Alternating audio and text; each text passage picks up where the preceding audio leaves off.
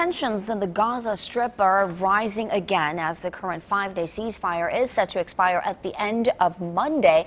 Israeli and Palestinian delegations are holding last minute talks in Cairo. What's the latest on, the, on this negotiations?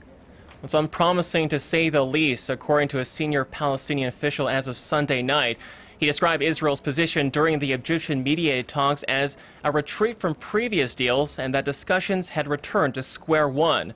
Israeli Prime Minister Benjamin Netanyahu has said any agreement on the future of Gaza had to meet Israel's security needs, warning Hamas face harsh retaliation if it resumed its rocket attacks.